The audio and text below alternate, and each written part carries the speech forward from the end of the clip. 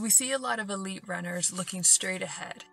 And why is this? When a runner looks down, their oxygen is depleted. But when they keep their eyes up, looking straight ahead, they preserve their oxygen and therefore are able to perform a lot better. While I was reading this, it reminded me how life can be sometimes and how, as believers, we are called to keep looking up.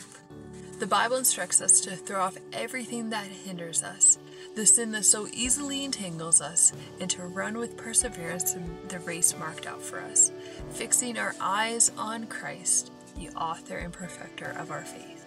God sees you today, He knows you by name, and He is calling you to look up to Him today.